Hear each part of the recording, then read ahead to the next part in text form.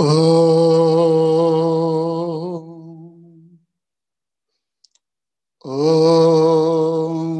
सहनावतु सहनौ भुनक्तु सह वीर्यं करवावहै तेजस्विनावधीतमस्तु मा विद्विषावहै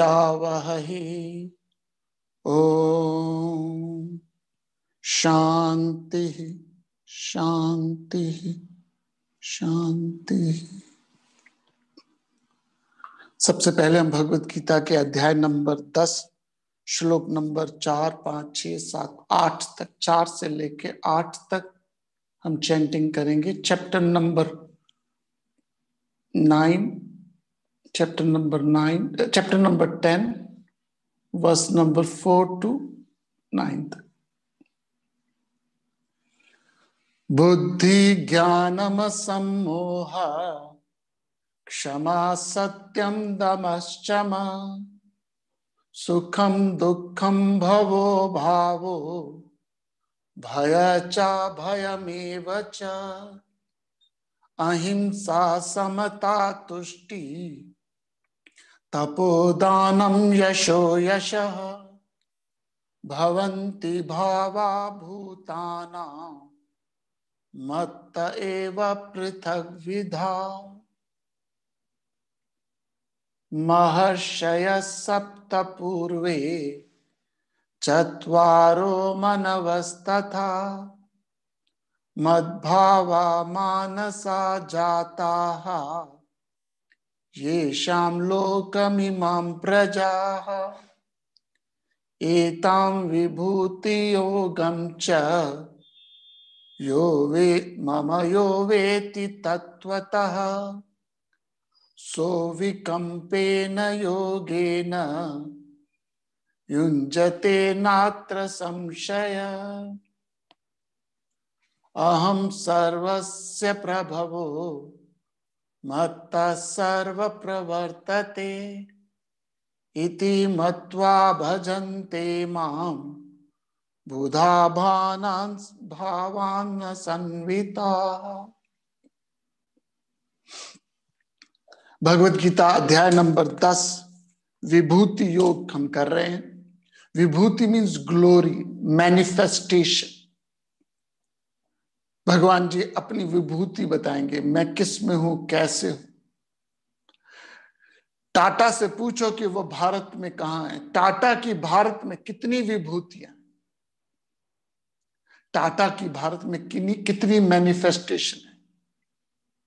सपोज़ टाटा कंपनी के पास जाके पूछते हो कि आप भारत में कहा हो? तो क्या बोलेगा? चाय में मैं हूँ, हवाई जहाज़ में मैं हूँ, नमक में मैं हूँ, स्टील में मैं हूँ, बसों में मैं हूँ, कारों में मैं हूँ। भारत में टाटा कहाँ है? सर्वव्यापी है। आप पूछोगे, कहा नहीं है? कहा नहीं है? ऊपर टाटा, बीच में बाटा, बीच में घाटा ही घाटा। जोक सपाट तो हम सब लोग विभूतियाँ ढूंढ रहे हैं। किसकी विभूति ढूंढ रहे हैं? उस परम की, जो सर्वव्यापी है। दूध की कितनी विभूतियाँ हैं? दूध के कितने मैनिफेस्टेशन है? चीनी के कितने मैनिफेस्टेशन है? पनीर में दूध, खोए में दूध, बर्फ़ी में दूध दूध कहाँ है? प्लेन दूध, लस्सी में दूध। दूध से पूछो कि आपकी विभूतियाँ कितनी हैं? तो दूध की विभूतियाँ कितनी हैं? सोने से पूछो, आपकी विभूतियाँ कितनी हैं? कंगन में मैं, बाली में मैं, मुंदरी में मैं पाजेब में मैं सेट में मैं। पुराने जमानों में दांतों के अंदर गाड़ देते थे। तो कहते, दांतों में मैं। स्वामी राम तीर्थ की घटना थी। कहते दांतों में सोना। पुराने जमाने में सोने का लगा लेते थे। ना why am bringing this thing इस सोने की कितनी विभूतियाँ?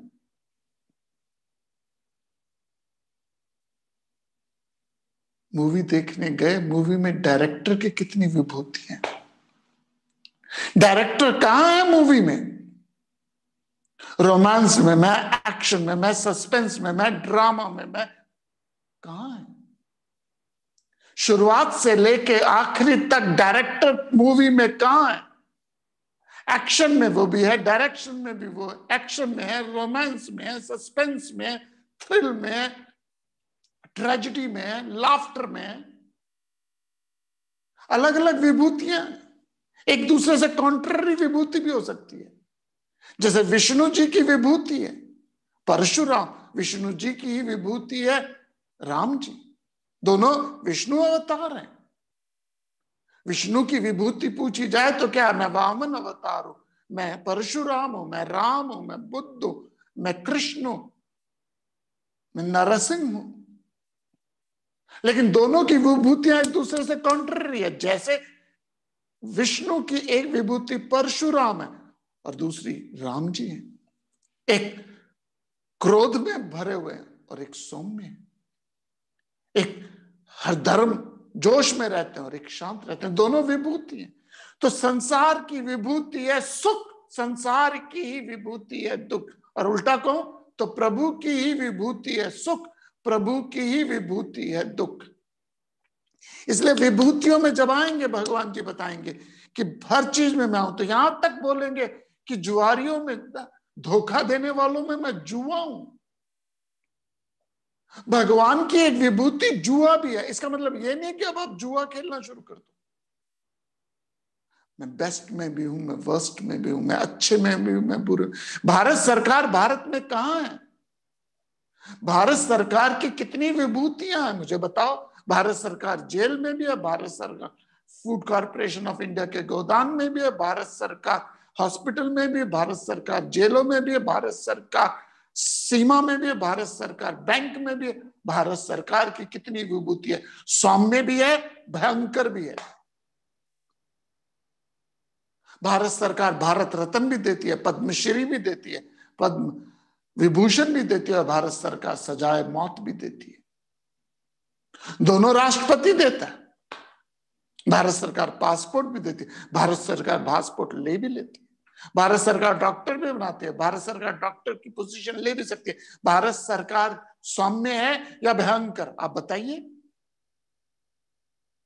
तो भारत सरकार की कितनी विभूतियाँ सोने की कितनी विभूतियाँ आपकी कितनी विभूतियाँ आपकी कितनी विभूतियाँ? किसी के लिए आप माँ हो, किसी के लिए बेटी हो, किसी के लिए चाची, फूफी बाटा बेटा पति, भाई, बंधु, सखा, पड़ोसी, कितने रूप हैं आप? और हर विभूति में, हर रूप में, हर विभूति में आपका रूप बदल जाता है। हर विभूति में, हर मैनिफेस्टेशन में आपका रूप बदल जाता है। इसलिए नाम रूप कहा गया मनुष्य। माँ के रूप में आपका रूप अलग है, पत्नी के रूप में आपका रूप अलग है, बेटी के रूप में आपका रूप अलग है, बहू के रूप में आपका रूप अलग है, भाई के बहन के रूप में आपका रूप अलग है, बेटा, भाई, पिता, पुत्र, हर में आप एक हो, आपकी विभूतियाँ अनेक है। तो यदि मेरी इतनी विभूतियाँ सोने की इतनी विभूतियाँ फ़िल्म के डायरेक्टर की इतनी विभूतियाँ भारत सरकार की इतनी विभूतियाँ अब आपसे कोई पूछे, भगवान की विभूतियाँ बताओ। कोई पूछे। अर्जुन ने यही कहा कि मुझे अपनी विभूतियों के बारे में डिटेल्स में बता भगवान जी कहेंगे, इसमें मैं हूँ, इसमें मैं हूँ, इसमें मैं हूँ, इसमें मैं हूँ। फिर ग्यारहवें अध्याय में अर्जुन कहेगा अच्छा जो बताया वो दिखाओ। बड़ी विडंबना है पास समीप दिखत नहीं दृग्ध गैसे दिन, तुलसी इस संसार को भया मोतिया बिन। यदि मैं आपको कहता हूँ कि मैं यूरोप होके आया हूँ, मैं यूएस से अभी लास्ट ईयर होके आया, या लास्ट टू लास्ट ईयर में जापान गया था, यदि मैं आपको कहता हूँ कि लास्ट ईयर में जापान गया था, मैं यूरोप गया, मैं अमेरिका गया, और आप मुझे कहते हो, अपना पासपोर्ट दिखाओ। वट इज़ इट मीन्स यदि आपको मैं कहता हूँ कि मैं अमेरिका होके आया हूँ और आप मुझे कहते हो कि मुझे पासपोर्ट दिखाओ, इसका मतलब है कि आपको मेरी बात पे विश्वास नहीं है। कोई कहे कि हम लड़की के लिए लड़का देख रहे हैं और लड़के वाले कहते हैं, हमारी ये दुकान है, हमारा ये फैक्ट्री है। और कोई कहे अच्छा जरा कागज़ दिखाओ। का मकान के कागज़ दिखाओ, जरा फैक्ट्री के। इसका मतलब क्या है? विश्वास नहीं। हमारे स्टूडेंट है मतलब कि जानने वाले ड्यूक यूनिवर्सिटी में येल यूनिवर्सिटी में पढ़ाते हैं प्रोफेसर हैं माइक्रोबायोलॉजी के। येल यूनिवर्सिटी में पढ़ाते हैं तो पंजाब यूनिवर्सिटी से उन्होंने माइक्रोबायोलॉजी करी थी। कहते जब मैं आया था in America I just told them कि मैंने माइक्रोबायोलॉजी में पीएचडी करी है। किसी ने मेरा कोई पेपर नहीं देखा। आई एम टॉकिंग पचास साल पुरानी बात करो। किसी ने कोई मेरा पेपर नहीं देखा। मेरी बात का विश्वास कर लिया। तो क्वेश्चन पूछे इंटरव्यू हुई और मुझे जॉब दे दी। मेरे पंजाब यूनिवर्सिटी में पेपर मेरे पड़े हुए, मुझे पता नहीं चला। जब प्रमोशन आई पंद्रह साल बाद, पच्चीस साल बाद, तब उन्होंने कहा कि आपके क्रेडिट्स का आपके पास आपके सर्टिफिकेट्स का कहते, मेरे पास है नहीं। तो मुझे दोबारा दिल, पंजाब आना पड़ा उन सर्टिफिकेट्स को लेने के लिए। क्योंकि अब उनको संशय हो गया, शक हो गया। तो गर्भ भगवान कहते हैं, मेरी विभूति ये है, इसमें मैं हूँ, इसमें मैं हूँ, इसमें मैं हूँ, इसमें मैं हूँ, इसमें मैं हूँ। यदि प्रभु अपनी विभूतियों के बारे में बताते हैं तो इसका मतलब है कि आपको, मुझको विश्वास है। लेकिन अर्जुन को नहीं था। अर्जुन कहता है, दसवें अध्याय में विभूति सुनने के बाद ग्यारहवें में भगवान कृष्ण को कहे अच्छा जो आपने विभूति बताई, उसको दिखाओ। भगवान जी दिखाएँगे, लेकिन तुर्रा ये कि देखने के बाद हिल जाए। पाँव के नीचे से ज़मीन हिल जाएगी। हाथ कांपने लगेंगे कप कपी आ जाएगी, रोंगटे खड़े हो जाएँगे, पसीने आने शुरू हो जाएँगे। उसी अर्जुन को, जो दोस्त था, सखा था, संबंधी था, मित्र था। तो अलग अलग गुण बताए गए, अलग लगता है। तो श्लोक नंबर चार और पाँच जो हमने किया था, पूरा नहीं किया तो श्लोक नंबर चार और पाँच में पॉजिटिव एस्पेक्ट बताए, नेगेटिव भी बताए, दो तीन नेगेटिव भी हैं, जैसे भय, अभय भाव और अभाव। अच्छे भाव भी है और बुरे भाव भी तो चौथे श्लोक और पाँचवें श्लोक को हम पढ़ते हैं। एक बार पढ़ते हैं, फिर उसके बाद शुरू करते हैं। हमने चौथे श्लोक को तो एक्सप्लेन कर लिया था, लेकिन पाँचवें को नहीं किया था। लेकिन दोनों इकट्ठे तो हम पढ़ते हैं श्लोक नंबर चार और पाँच इकट्ठे।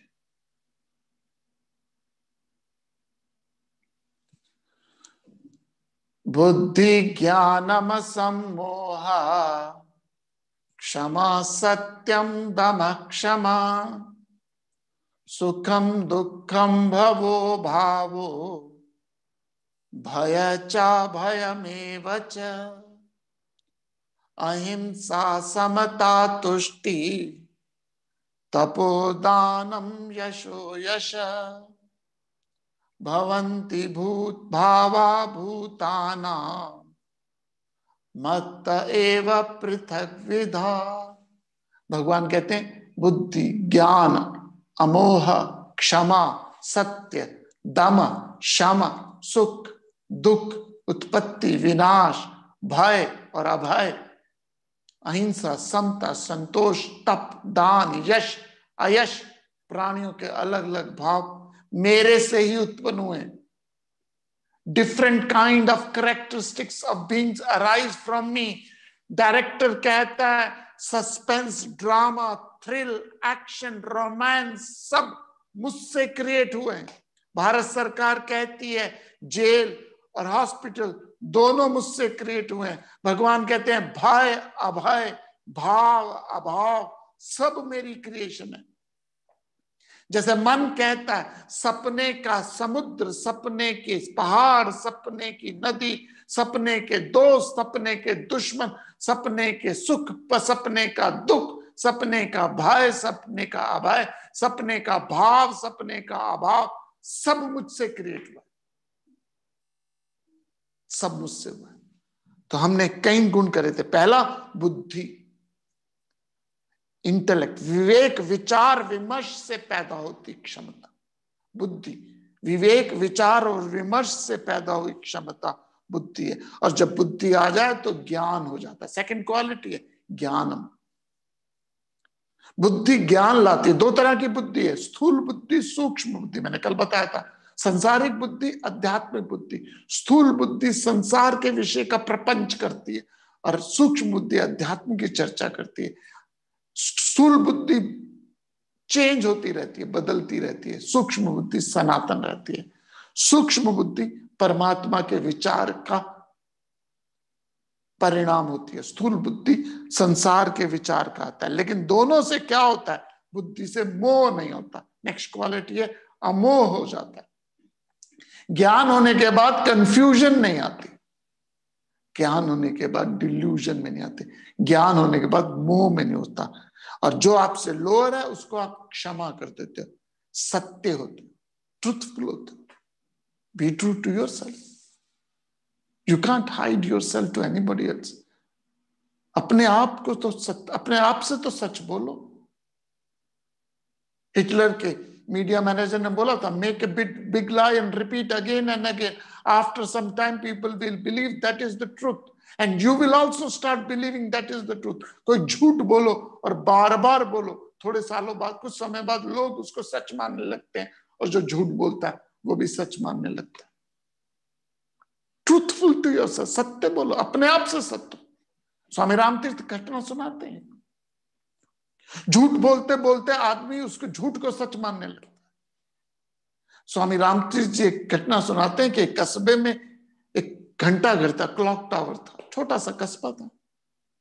तो एक आदमी ने पूरे इस कस्बे में खबर फैला दी कि रविवार को घंटा घर में दस बजे लड्डू मिलेंगे। छोटा सा कस्बा था, लड्डू, रेयर कमोडिटी थी। तो दस बजे रविवार को लोग पहुँच गए। उस आदमी ने पूरे कस्बे में खबर फैला दी कि दस बजे लड्डू बटेंगे। लोग आ गए। लड्डू क्या मिलने थे वहाँ? तो कोई लड्डू नहीं थे। वो आदमी जिसने खबर फैलाई थी, वो भी पहुँच गया। सबने उसको पकड़ा कि तुझे, हमें तो पता नहीं था लड्डू नहीं मिलने। हम तो अज्ञानता से आए। तुझे तो पता था लड्डू नहीं मिलने। फिर क्यों तू आया? वो कहने लगा शायद मिल जाते। Now I am bringing this उसने झूठ इतना बोला इतना बोला। Make a big lie and repeat again and again make a big lie and repeat again and again after some time people will believe that is the truth and you will also believe that is the truth media manager Hitler के media manager ने कहा था। तो हम जब अपने आप को झूठ बोलते अपने आप से झूठ बोलते ओ, मेरी तो ज़िंदगी बड़ी खराब। ओ, मेरी तो ज़िंदगी बड़ी खराब। ओ, मेरी तो किस्मत खराब। ओ, मेरी तो किस्मत है नहीं किस्मत खराब। लेकिन अपने आप से झूठ बोलते हैं और झूठ बोलते बोलते मानने लग जाते हैं कि मेरी तो किस्मत खराब है। सत्यम। अगला है दमा। Dama means self restrain physical level में। सेल्फ रिस्ट्रेन फ़िज़िकल लेवल में। And then kshama kshama means emotional restrain dama means physical restrain आपको अपनी बॉडी को क्या करना है? रिस्ट्रेन करना है। लेकिन उससे मुश्किल है क्षमा। क्षमा मीन्स मेंटल रिस्ट्रेन मनोवैज्ञानिक रिस्ट्रेन इंटरनल रिस्ट्रेन तो क्षमा, दमा, भाव और अभाव। भाव और अभाव का मतलब है किसी चीज़ की वैल्यू है, किसी चीज़ की वैल्यू नहीं है।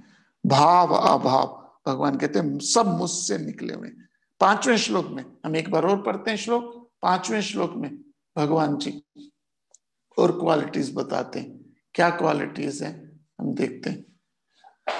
अहिंस, दोनों श्लोक इकट्ठे एक बार पढ़ते हैं।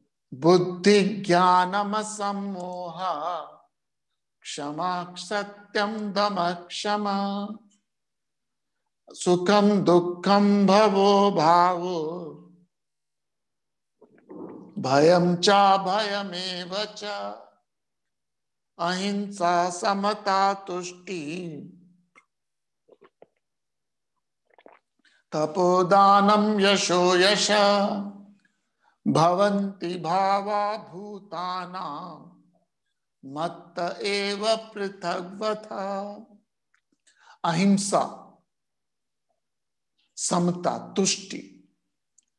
तो हमने ज्ञान की अभी क्वालिटीज करी, बुद्धि, ज्ञान अमूर्ता क्षमा, सत्य, दम, सम। सुख, दुख। सुख आएँगे, दुख आएँगे, दोनों भाव है। उत्पत्ति, विनाश। भय और अभय। फियर भी है फियरलेसनेस भी बर्थ भी है ग्रोथ भी है डिज़ीज़ भी है डेथ भी है। सो अलग अलग भाव बताए हैं अलग अलग भाव हैं। भय भी है, अभय भी है, सुख भी है, दुख भी है। उन्हीं भाव को चर्चा करते हुए आगे कहते हैं पाँचवें श्लोक में, अहिंसा। अहिंसा मीन्स मनसा वाचा करना, मन से, वाणी से, बुद्धि से, शरीर से हिंसा नहीं करना। बड़ी इंटरेस्टिंग विषय है गीता जी। गीता जी के भक्त के गुण में चले जाइए, ज्ञानी के गुण में चले जाइए, देवताओं के गुणों में चले जाइए जगह जगह अहिंसा शब्द यूज़ किया गया। अहिंसा का मतलब है किसी की इंजरी नहीं करना। देर फॉर अर्जुन तू युद्ध कर।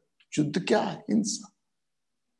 सो so, हिंसा बाहरी भी है सॉरी अहिंसा बाहरी भी है और भीतरी भी है।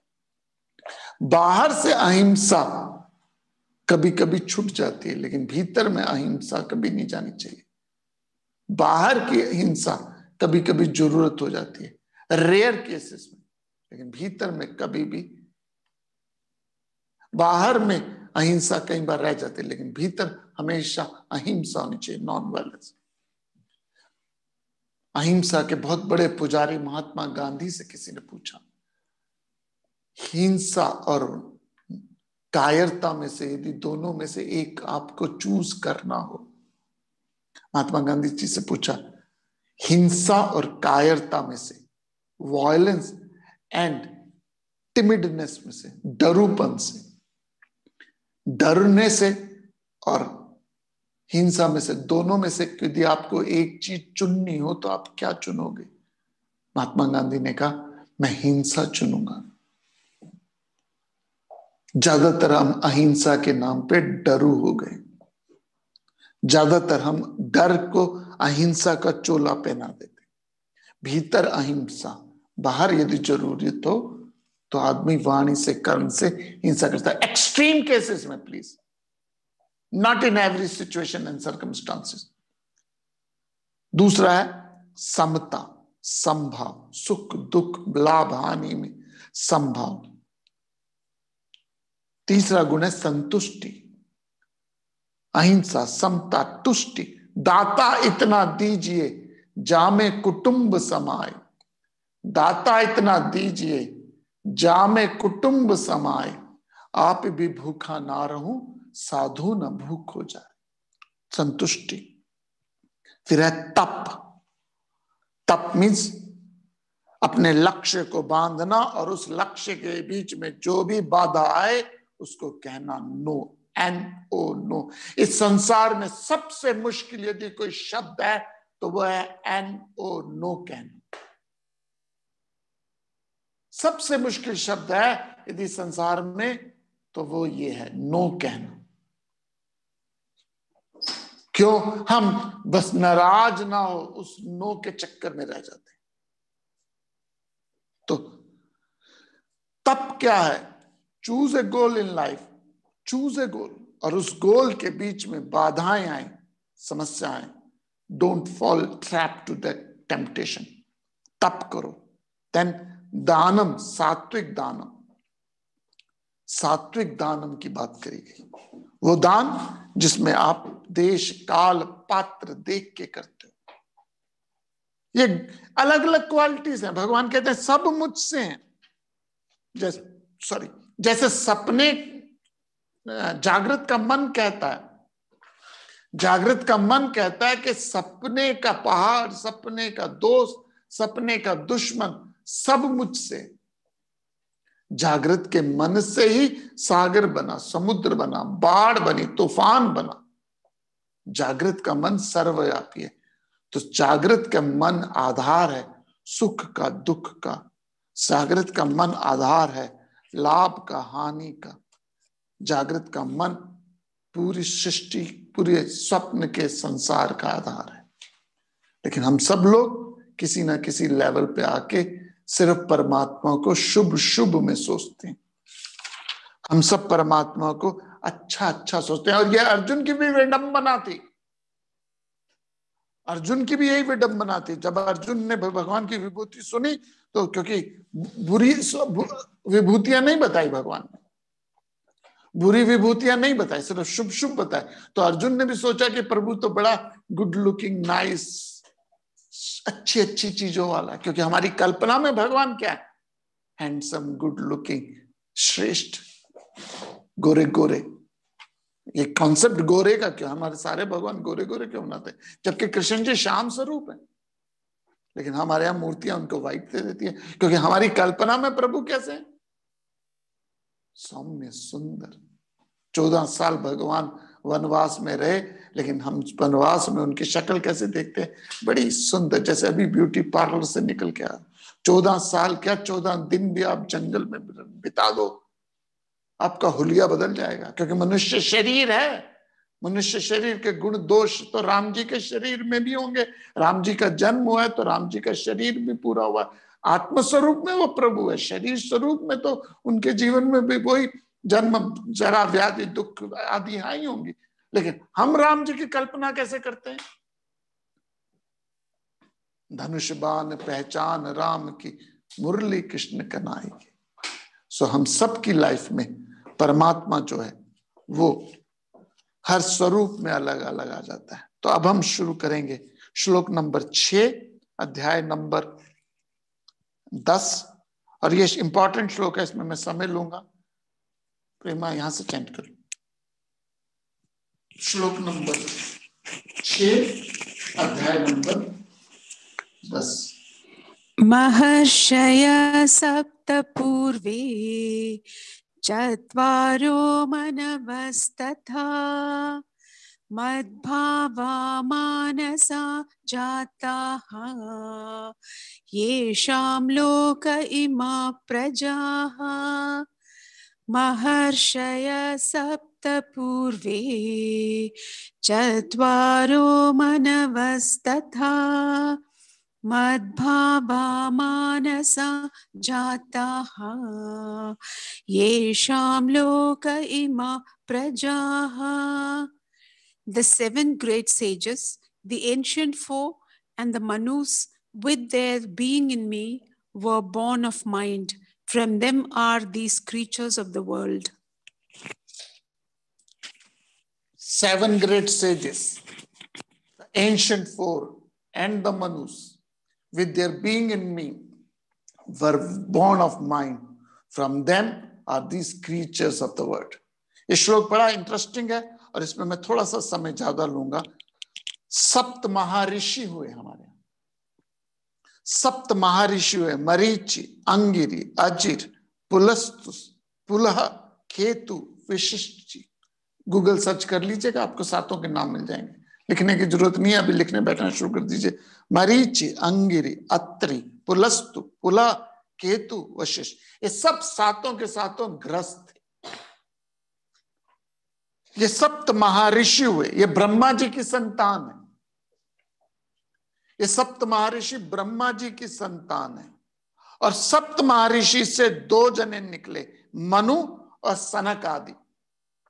मैं थोड़ा सा टेक्निकल जा रहा हूँ, शब्दों को समझाने के लिए। Generally I don't avoid technicality क्योंकि शब्दों को, भाव को समझिए, शब्दों के गुंजलों में मत फंसिए। बट यहाँ ज़रूरी है थोड़ा सा टेक्निकल होना। तो सात महर्षि हैं, सप्त ऋषि हैं, मरीचि, अंगिरी अत्रि पुलस्तु पुला केतु वशिष्ठ।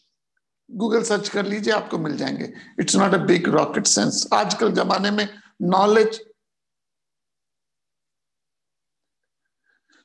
स्ट्रॉन्ग इतना ज़्यादा मुश्किल नहीं है समझना विषयों को, क्योंकि बहुत क्विक अवेलेबल है नॉलेज नाउ जो आपको गूगल में नहीं मिलेगा, जो मैं आपको बता रहा हूँ this we you won't get in Google because I tried it दो तरह की संतान होती है। एक होती है बीजम बिंदुच और एक होती है नाद। ध्यान से सुनेंगे दो तरह की संतान होती है हमारे संसार में। एक होती है बिंदुच और दूसरी होती है नाद संतान। बिंदु संतान वो संतान होती है जो माँ बाप के मिलन से आती है। जो नॉर्मल हम माँ बाप का जब मिल, मिलन होता है उनके संयोग से संतान का जन्म होता है, जिसे हम बिंदु संतान कहते हैं। तो बिंदु संतान, जिसे बीजम संतान भी कहते हैं, ये मनु है, जो कहते हैं, भगवान जी, जहाँ यूज़ किया गया, शब्द यूज़ किया, मेरे भाव से, मेरे भाव से उत्पन्न हुई है। दो शब्द हैं यहाँ पे। एक है, मेरे भाव से और दूसरा है, मेरे स्वरूप से मैं यदि शब्द सुनिए, यदि आप अनुवाद पढ़िए जरा इसका, श्लोक नंबर। सात महर्षि पहली बार मनु, जिन लोगों में प्रजा मेरे मन से उत्पन्न हुए भाव है। तो एक भाव से उत्पन्न हुआ, एक मन से उत्पन्न हुआ। दो शब्द आए। एक मेरे भाव से उत्पन्न हुई है सृष्टि और एक मेरे मन से हुई है। तो दो तरह की संतानें होती हैं। एक होती है बिंदु संतान बीजम संतान, जो माँ बाप के संबंध से आती है। तो ब्रह्मा जी की संतानें, ये ग्यारह सप्त सात सप्त ऋषि हैं। ब्रह्मा जी की संतान सात सप्त ऋषि हैं और सात सप्त ऋषियों की दो संतानें हैं। बिंदु संतान, जो माँ बाप के जन्म से होती है, जो मनु है, और दूसरी है नाद संतान, जो दीक्षा, मंत्र, उपदेश से उत्पन्न होती है। गुरु की संतान है। गुरु भी हमारा पिता है। गुरु ब्रह्मा, गुरु देव, महेश्वर, गुरु माता, गुरु पिता। लेकिन वो हम बीजम संतान नहीं है उनकी उनकी नाद संतान है। नाद मीन स्वर है। एक नाद, दो नाद बहुनाद एक ताल, दो ताल बहुताल नाद मीन स्वर। तो हमें, हम संतान है तो माँ बाप की संतान है जो नॉर्मल एक गुरु की भी संतान है, और गुरु की संतान कौन सी संतान है? नाद संतान है, जो दीक्षा से, मंत्र से, उपदेश से उत्पन्न होती है। सिंपल बात है, इसमें कोई बात नहीं अब विष्णु जी की नाभि से ब्रह्मा जी का जन्म हुआ। महर्षि और ब्रह्मा जी से सप्त ऋषि आए। ब्रह्मा जी से सप्त ऋषि। और सप्त ऋषियों से ये मनु चौदह मनु बने। सप्त ऋषि से चौदह मनु बने और सप्त ऋषि से चार सनक आदि संतान हुई। और उसके बाद सृष्टि आगे बढ़ती गई, आगे बढ़ती गई। ना दिस इज़ थियोलॉजिकली आप आप सोचें या आप ये सोचें कि ब्रह्मा जी से, विष्णु के ब्रह्मा जी आए ब्रह्मा जी से चौदह सात महर्षि इसको आप यदि माइथोलॉजी में देखते हैं तो फेयर अनफ कि ब्रह्मा जी की संतान विष्णु जी की संतान, ब्रह्मा जी ब्रह्मा जी से महर्षि आए, महर्षि के बिंदु संतान, मनु थे और दीक्षा और संतान, सनक आदि थे। ये तो सिंपल बात होगी लेकिन इसकी फिलॉसफी क्या है? ये संसार बना कैसे? पहली बात है विष्णु। विष्णु के अज्ञान से ब्रह्मा जी की क्रिएशन हुई। It's ignorance of the Vishnu which created Brahma ji for example it was ignorance of the rope which created a snake सामने सांप नज़र आ रहा है तो सांप क्यों दिख रहा है? अज्ञानता के कारण आपको सांप दिख रहा है। तो सांप सॉरी रस्सी के अज्ञानता से आपको सांप दिखा। तो सांप क्रिएशन कहाँ से हुई? सांप कहाँ से पैदा हुआ? रस्सी से। रस्सी से ही सांप पैदा हुआ। रस्सी चार फुट चौड़ी है तो सांप भी चार फुट चौड़ा लंबा रस, रस्सी चार फीट लंबी है तो सांप भी चार फीट लंबा रस्सी डेढ़ इंच मोटी है तो सांप भी डेढ़ इंच मोटा रस्सी काली है तो सांप भी काला ये संसार परमात्मा असीम है अनंत है अनादि है। तो इस संसार का जो प्रतिबिंब है वो भी अनंत, अनादि, अजर, अविनाशी है। संसार असीम है। कहाँ तक जाओगे? कोई सीमा नहीं है। संसार में अंडा पहले हुआ या मुर्गी पहले हुए? कॉज एंड इफ़ेक्ट असीम अनंत तक है। नित्य कब शुरू हुआ संसार? सांप काला है, एक इंच मोटा है और चार फीट लंबा है तो रस्सी भी चार फीट लंबी है। काली है डेढ़ एक इंच मोटी है। रस, ज्ञान, सांप आया कहाँ से? रस्सी के अज्ञान से। जैसे ही रस्सी का ज्ञान हो जाए, सांप खत्म हो जाएगा। तो सृष्टि बनी कैसे? ब्रह्म के अज्ञान से। इस सृष्टि बनी कैसे? परमात्मा के अज्ञान से। परमात्मा के अज्ञान से वासना बनी। वासना ब्रह्मा जी, इसलिए भगवान ने संसार नहीं रचा, संसार ब्रह्मा जी ने रचा and in Hinduism we don't worship Brahma ji. Sad but true we don't worship the creator Brahma ji symbolise वासना, ब्रह्मा जी सिंबलाइज एप्टीट्यूड अर्ज़ तो आपका संसार कैसा है? आपका संसार कैसा है? जैसी आपकी वासना है। तो ब्रह्म, विष्णु से ब्रह्मा जी क्रिएट हुए, नाभि से means ignorance of the self created Brahma ji, वासना। अब वासना से आपको शरीर मिला, मन बुद्धि मिले तो जो वासना से सप्तऋषि मिले सप्तऋषि से ये शरीर, मन, बुद्धि मिला। तो मनु सिंबलाता करते हैं, चौदह पाठ है, चौदह मनु है, दस इंद्रिया और चार प्राणास। ये चार प्राणास जो है, ऐसे पाँच प्राणास है, लेकिन एक को यहाँ मर्ज किया हुआ है प्राणास को। तो चौदह प्राणा फ़िज़िकल बॉडी है। और मन, बुद्धि, चित्त, अहंकार, सनक आदि, ये सटल बॉडी है। मैं समझा देता हूँ आपको सिंपल भाषा में। कंफ्यूज मत होइएगा, क्योंकि समझ, जब तक समझेगे नहीं, मैं आपको समझाता रहूँगा। बार बार समझाता रहूँगा। ये ग्रॉस बॉडी है, ये सटल बॉडी है। ये माइंड इंटेलेक्ट ईगो और चित्त तीनों से बना हुआ है। मनोबुद्धि चित्त ग्रॉस बॉडी दस इंद्रियों से बना हुआ है। और पाँच प्राणों ने, यहाँ चार बोला है एक्चुअल में पाँच है। पाँच प्राणों ने इस सटल बॉडी और ग्रॉस बॉडी को आपस में बांधा हुआ है। ये ऐसे ही है जैसे एक लकड़ी का पीस है, दूसरा लकड़ी का पीस है। दोनों को मैंने हेडलेस नेल से बांधा हुआ है। अब हिलाता हूँ तो प्राणा वीक होते तो आपका जो बीजम है, बीजम शरीर है, जो बिंदु शरीर है, जो जो ह्यूमन स्लाइवा से या स्पर्म से या किसी और चीज़ से जो शरीर बनाए ये पंच महाभूतों में मिल जाता है। ह्यूमन बॉडी चौदह जो पार्ट है, ये पंच महाभूतों में मिल जाते हैं। लेकिन जो नाद शरीर है आपका, अर्थात मन, बुद्धि, चित्त, अहंकार है, ये मरता नहीं है। ये सनक आदि मरते नहीं है। सनक आदि सनातन है। और ये सनत आदि, मन, बुद्धि, चित्त, अहंकार, दूसरा संसार बना देते दूसरा शरीर लेते तो आपका संसार किसने बनाया?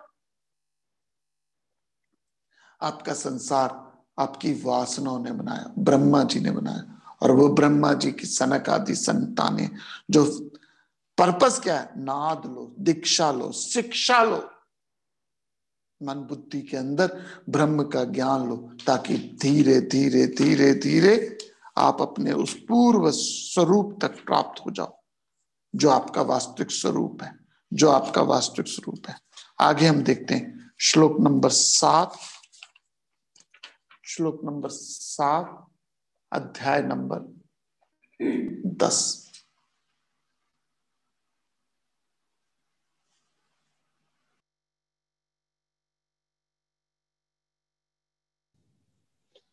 एतां विभूतिं योगं च, मम यो वेति तत्त्वतः।